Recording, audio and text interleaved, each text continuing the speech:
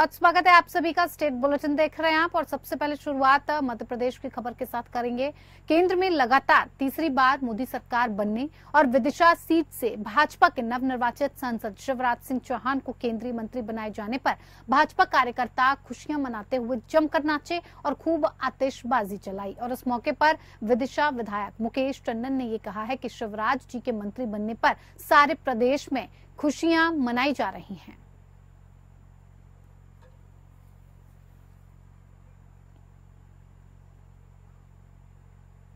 मध्य प्रदेश के धारमऊ से सांसद सावित्री ठाकुर को केंद्रीय राज्य मंत्री बनाया गया है और इससे धार के लोगों में खुशी है। ज़िले के सभी सैंतीस मंडलों में नरेंद्र मोदी के तीसरी बार प्रधानमंत्री बनने पर और सावित्री ठाकुर के मंत्री बनने पर आतिशबाजी कर मिठाई भी बांटी गई। आज़ादी के बाद धार लोकसभा का चुना हुआ सांसद कभी केंद्र में मंत्री नहीं बना था। पहली बार सांसद सावित्री ठाकुर का नाम मोदी मंत्रिमंडल में शामिल हुआ है। स्थानीय लोगों का उम्मीदें हैं कि सावित्री ठाकुर के केंद्रीय मंत्री बनने से लोकसभा क्षेत्र में विकास के द्वार खुलेंगे। धारमहू लोकसभा से आज़ादी के बाद पहली बार केंद्रीय मंत्रिमंडल में जगह दी गई है। सावित्री ठाकुर इस संसदीय सीट से दूसरी बार सांसद चुनी गई। पहले वो 2014 में जीतकर पहली बार सांसद बनी थी। उसके बाद 2019 में हुए चुनाव में पार्टी ने उन्हें टिकट नहीं दिया था। लेकिन 2024 में पार्टी ने उन्हें फिर टिकट दिया और ये चुनाव उन्होंने रिकॉर्ड सवा दो लाख वोटों से जीता। उन्होंने कांग्रेस के प्रत्याशी राधेश्याम मोवेल को हराया है। धार ज़िले को पहली बार केंद्रीय मंत्रिमंडल में स्थान मिला है।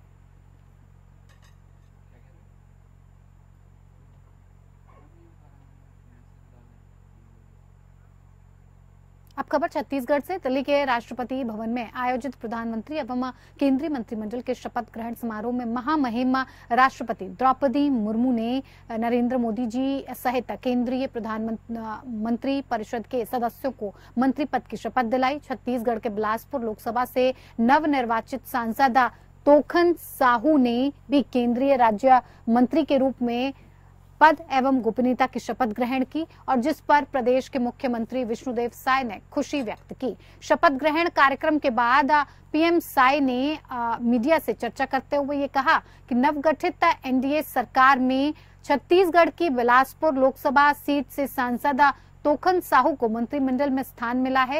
ये छत्तीसगढ़ राज्य के लिए गौरवशाली क्षण है और उनको केंद्रीय मंत्रिमंडल में प्रतिनिधित्व मिलना संपूर्ण प्रदेशवासियों के लिए हर्ष का विषय है।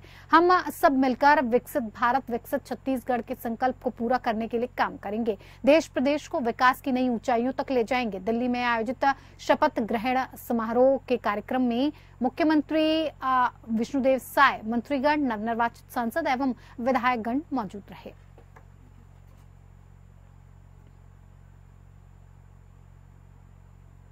छत्तीसगढ़ विधानसभा अध्यक्ष डॉक्टर रमन सिंह अपने निर्वाचन क्षेत्र राजनाथ गाँव विधानसभा पहुँचे और उन्होंने अपने निवास कार्यालय में भारतीय जनता पार्टी के कार्यकर्ताओं से भेंट करते हुए चर्चा की। वहीं आम जनों से मुलाकात कर उनकी समस्याएँ सुनी और समस्याओं के निदान के लिए संबंधितों को निर्देशित किया। इस दौरान केंद्र की नरेंद्र मोदी सरकार के शपथ ग्रहण को लेकर विधानसभा अध्यक्ष डॉक्टर रमन सिंह ने प्रधानमंत्री मोदी और उनके मंत्रिमंडल को अपनी बधाई और शुभकामनाएँ देते हुए ये कहा कि एनडीए सरकार के मंत्रिमंडल में छत्तीसगढ़ को भी प्रतिनिधित्व मिला है। वहीं लोकसभा चुनाव के दौरान राजनाथ गाँव से भूपेश बघेल को मिली बड़ी शिकस्त के मामले में डॉक्टर रमन सिंह ने ये कहा कि राजनाथ गाँव की जनता ने हिसाब किताब बराबर किया। जितनी उपेक्षा और शोषण भूपेश बघेल ने राजनाथ गाँव का किया था। उसका बदला यहाँ की जनता ने खामोशी से लिया। छत्तीसगढ़ प्रदेश में नक्सल मामले पर हो रही कार्रवाई को लेकर डॉक्टर रमन सिंह ने यह भी कहा कि आने वाले दो तीन सालों में छत्तीसगढ़ शांति और विकास की दिशा में तेज़ी से आगे बढ़ेगा।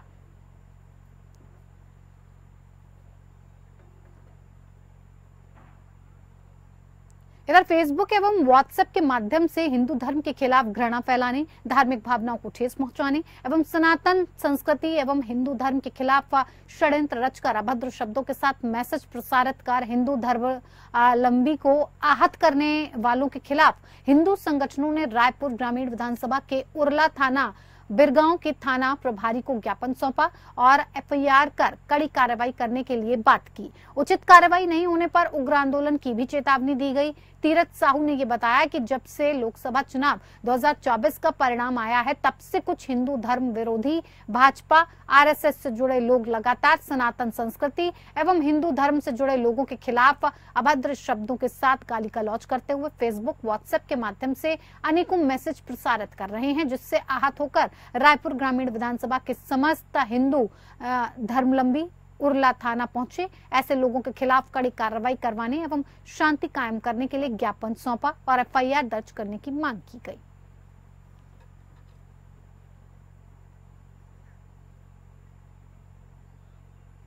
बस्तर में एनएमडीसी प्रबंधन की वादा खिलाफी को लेकर स्थानीय ग्रामीणों का गुस्सा एक बार फिर से फूट पड़ा है।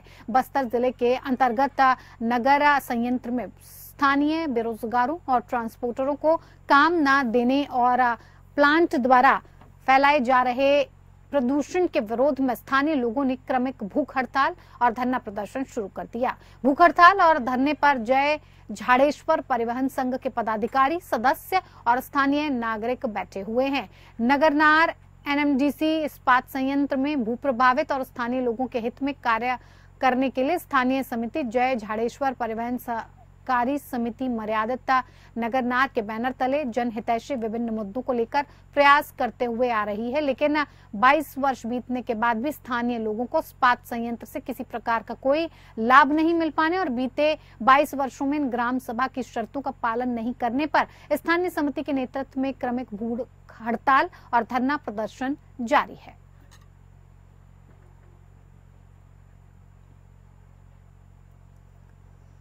तो वहीं धमतरी शहर के सिटी कोतवाली से महज 200 किलोमीटर माफ़ कीजिएगा 200 मीटर दूर इतवारी बाज़ार में उस वक्त हड़कंप मच गया जब भीड़ के बीचों बीच चाकू चल गया।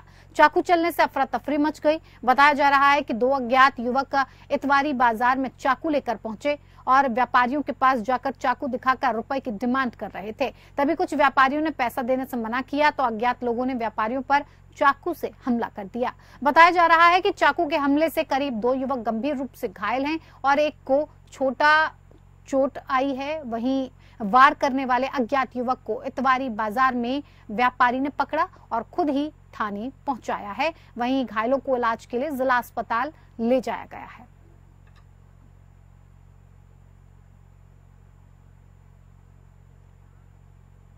रायपुर रेलवे स्टेशन पर बड़ा हादसा टल गया। चलती ट्रेन में छह महीने के बच्चे के साथ महिला पटरी पर गिर गई। ट्रेन पर चढ़ने के दरमियान महिला का पैर फिसलने से महिला और बच्चे दोनों ट्रेन के नीचे आ गिरे। आरपीएफ के जवान ने तत्परता दिखाते हुए ट्रेन में चेन पुलिंग कर ट्रेन को रोका। स्टेशन में यात्रियों की मदद से माँ और बच्चे दोनों को सही सलामतता बाहर निकाला गया। हादसे में महिला और बच्चे को मामूली चोटें आई हैं। दोनों को उपचार के लिए भेज दिया गया है। महिला हावड़ा मुंबई ट्रेन से मुंबई जा रही थी।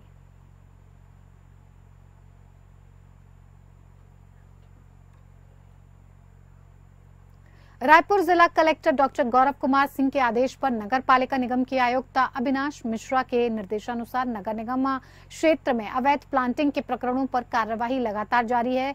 जोन आठ के तहत वार्ड नंबर दो के कोटा में चित्रकूट परिसर के सामने लगभग चार एकड़ निजी भूमि पर की जा रही अवैध प्लांटिंग पर रोक लगाई गई है। नगर निगम विभाग के माध्यम से रायपुर तहसीलदार को पत्र लिखकर निजी भूमि के वास्तविक भूमि स्वामियों की जानकारी संबंधित नगर निगम को शीघ्र उपलब्ध करवाने को कहा गया है। तहसील कार्यालय से जानकारी मिलते ही छत्तीसगढ़ शासन के अधिनियम के प्रावधानों के अनुसार संबंधित अवैध प्लांटिंग कर्ताओं के विरुद्ध संबंधित पुलिस थाने में एफआईआर दर्ज करने के आदेश भी दे दिए गए हैं।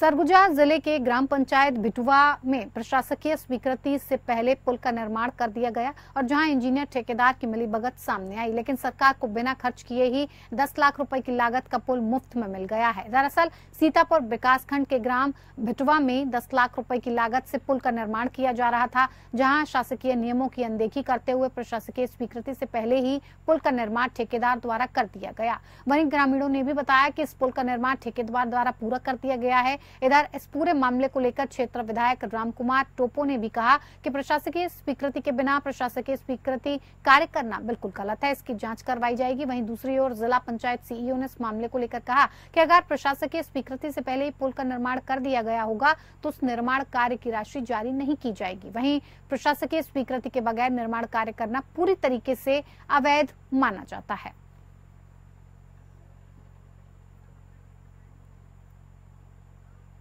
सासाराम बिजली कटौती से स्थानीय लोग परेशान हैं। बिजली कटौती से नाराज़ लोग विरोध प्रदर्शन कर रहे हैं। नूरनगंज मोहल्ले के लोगों का आरोप है कि बुद्धा मिशन स्कूल के पास लगे ट्रांसफार्मर कई दिनों से जला हुआ है। ऐसे में किसी दूसरी जगह से बिजली की सप्लाई आती भी है तो लगातार बिजली कट जा रही है और उसके बावजूद बिजली विभाग के अधिकारियों से बात की जा रही है तो केवल मौखिक रूप से सिर्फ़ आश्वासन दिया गया। लेकिन आज तक ना ही ट्रांसफार्मर बना और ना ही बिजली में कोई सुधार हो पाया। ऐसे में घरों में रहना मुश्किल हो गया है। स्थानीय लोगों के मुताबिक 24 घंटे के भीतर मात्र तीन से चार घंटे तक की विद्युत आपूर्ति की जा रही है और जिसके कारण लोगों को भीषण गर्मी से कई तरह की परेशानियों का सामना करना पड़ रहा है। नाराज़ लोगों ने विद्युत विभाग सहित अन्य अधिकारियों के खिलाफ जमकर नारेबाजी की और ये कहा कि जब तक हम लोगों की समस्याओं का समाधान नहीं किया जाता, तब तक प्रदर्शन जारी रहेगा।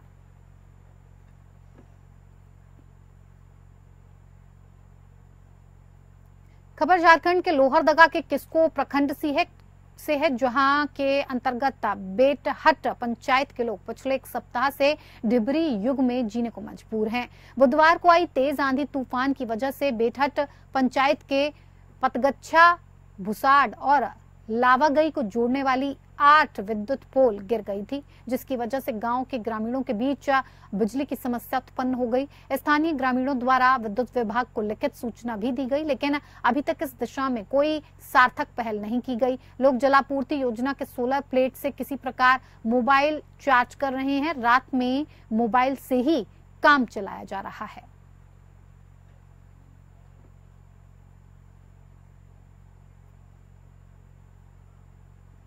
इधर प्रधानमंत्री मोदी की शपथ ग्रहण पर लोहरदगा में जय श्री राम समिति सामाजिक संगठन एवं भाजपाइयों ने खुशियाँ मनाई। लोगों ने एक दूसरे को मिठाई बांटी और जमकर आतिशबाजी की। निंगनी में महाकाल ग्रुप के सदस्यों द्वारा जमकर आतिशबाजी करते हुए ये कहा गया कि हमारा देश एक विकसित, सुरक्षित एवं मज़बूत देश की ओर बढ़ रहा है। प्रधानमंत्री मोदी, हमारे देश को एक मज़बूत राष्ट्र बनाकर दे। यही कामना हम सभी करते हैं।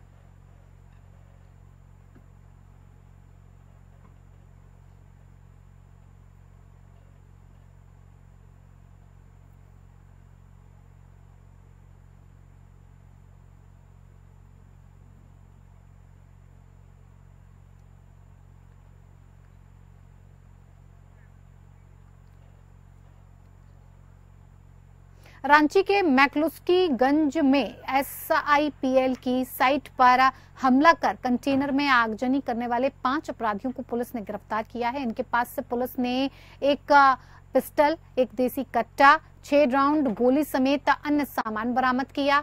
एसएसपी चंदन सिन्हा ने प्रेस कॉन्फ्रेंस कर ये जानकारी दी।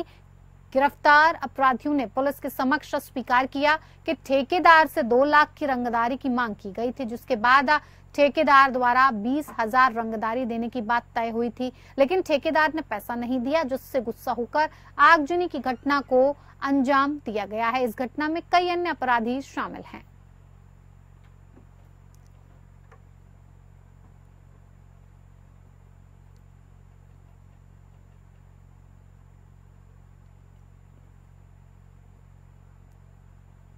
World traditional Shotokan karate federation Dhanbad का बेल्ट ग्रेडिंग कला भवन हीरापुर के परागण में संपन्न हुआ और जिसमें धनबाद जिला शोटोकान के 40 कराटे छात्राओं ने भाग लिया, जिसमें 28 प्रतिभागियों को सफल घोषित किया गया। ब्लैक बेल्ट प्राप्त करने वाले इंदिरा मुखर्जी एवं विक्रमादित्य सिंह सात सालों से कराटे का प्रशिक्षण कला भवन में मोहम्मद तोराब खान से प्राप्त कर रहे हैं। इंदिरा कारमेल स्कूल, धनबाद की नौवीं की छात्रा हैं और विक्रमादित्य डीएवी पब्लिक स्कूल कोयला नगर सिक्स के छात्र हैं और इस बेल्ट ग्रेडिंग में कला भवन, कैम्ब्रिज स्कूल एवं बर्टांड क्लब के छात्राओं ने भाग लिया है। टेस्ट में सभी प्रतियोगिताओं के योग्य के अनुसार punch kick punch kick combination karate kumite का टेस्ट लिया गया। ब्लैक बेल्ट के लिए मुख्य रूप से बसाईदाई कराटा का टेस्ट लिया गया।